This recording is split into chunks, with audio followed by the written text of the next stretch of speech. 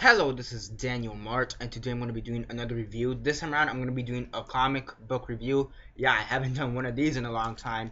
So yeah, I've been I discussed this in a channel update recently, if I'm not mistaken, or I've been discussing this in a few videos. That I have so many comics to review, and some people ask me, you know, why don't you just drop the comic book reviews? And most is because one, I like giving out my thoughts. Two, there's actually a few amount of people who still who enjoy it, despite the fact that it doesn't get as many views as they as a, a TV show review or a, or a movie review or any other type of video I do. It still gets some views, a decent amount, um, for what it, for for my channel. And so yeah, now do uh, now as I just said, to, to the amount of comics I need to review, basically what I've decided to do right now is group up all the comics uh, from an individual series I have yet to review and put them onto one. So, for example, like I'm gonna be doing in this one, I'm gonna be doing the la- the review for the for the last three Sherlock versus um, Harry Houdini comics. Um, so basically, issues three, four, and five. Um, so yeah, and I'm gonna be doing this for a couple series. Um, Spread, The Walking Dead, maybe The Walking Dead. I don't know because The Walking Dead individual, um, individually comic book reviews get a lot of views on your own. So maybe The Walking Dead, I'll do an individual one per per um, issue, but I don't know about doing for spread. Southern Bastards, Lobo, um, Thor, whatever, whatever I have to do. So yeah, before I begin though, 10 second spoiler warning as usual for those who have yet to actually watch, um, not watch, read the comics issues 3, 4, and 5 of Sherlock versus Harry Houdini. For those who have yet to actually watch this video, I mean, sorry, read the comic books and haven't already, stop the video, go check it out, and come back and watch the rest of this review. 10 second spoiler warning, as usual, starting now.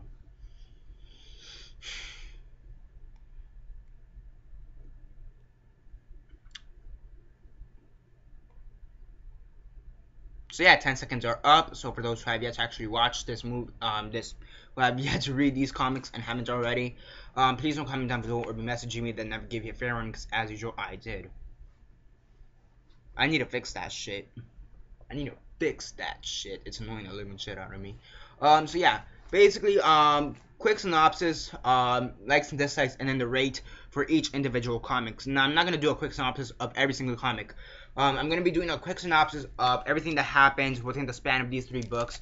Um, an overall general synopsis of all three combined into one, and then at the end, I'm gonna be doing a an, a rate for issue 3, an individual rate for issue 4, and same thing for issue 5. Um, so yeah, basically it starts off in issue 3, just let me um, make sure I'm, yeah, um, yeah, just me make sure I have, I'm starting off the right place. So yeah, you, um, basically throughout this, um, whole, the last three issues, um, you, you basically have Harry Houdini and, um, Harry Houdini and Holmes, Sherlock Holmes, and they're still trying to figure out who is this ghost, and what does he want, and what are his motivations. This ghost is killing a few people left and right. Um, he's, he's he tried to kill Harry Houdini and Sherlock Holmes. He, I, he, he tried to kill Harry Houdini's wife, um, Bessie Houdini, I think is her name. Uh, so this, this guy's, um, this person's out for blood.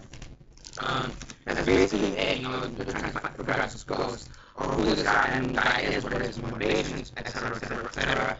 And towards the end of the, in issue 5, here, um, if I'm not mistaken, they they do capture guy. Yeah, they capture a guy. Let me make sure I'm I'm saying this one correctly.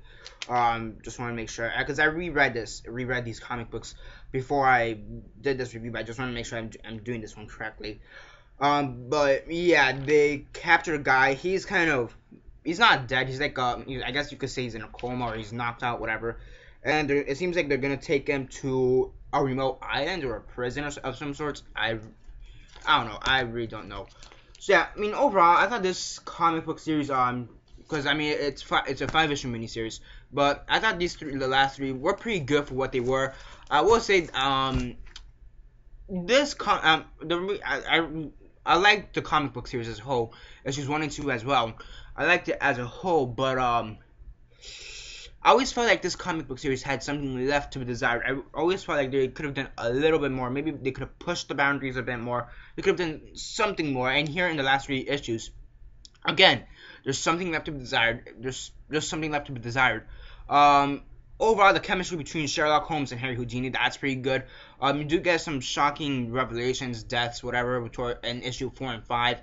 That was pretty good. Um, stuff in issue three, that was okay. That was that was that was more like exposition in my opinion.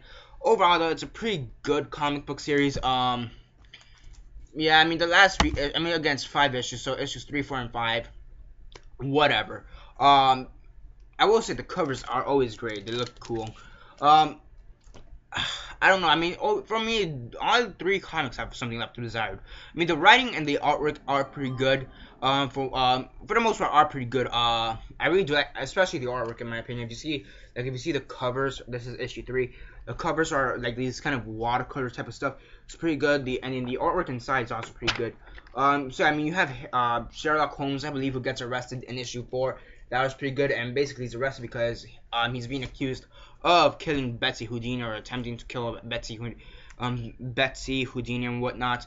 So yeah, I mean overall it's a pretty good comic book series. Um, to give a um, on a scale of one to ten, one being the worst, ten being the best, and six being decent, I'd give um a seven out of ten for issue three, seven out of ten for issue four, and a seven point five for issue number five.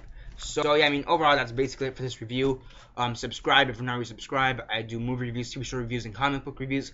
Again, I'm gonna try to speed it up on comic book reviews. Hopefully you guys enjoy it all. And yeah, that's basically my thoughts on it. Mm, so subscribe. Again, seven seven for issue three, seven out of ten. Issue four, seven out of ten, and seven point five for issue five. So again, subscribe, comment down below on your thoughts on this series. Have you read it? And if not, why not? And if you have, what are your thoughts on it? And what are your thoughts on the um, last three comic book issues of the series? Comment all that down below. Let me know. Like the video, on Facebook, Twitter, MySpace, or whatever you guys prefer. And that's basically it for now. This is Daniel Mart signing off.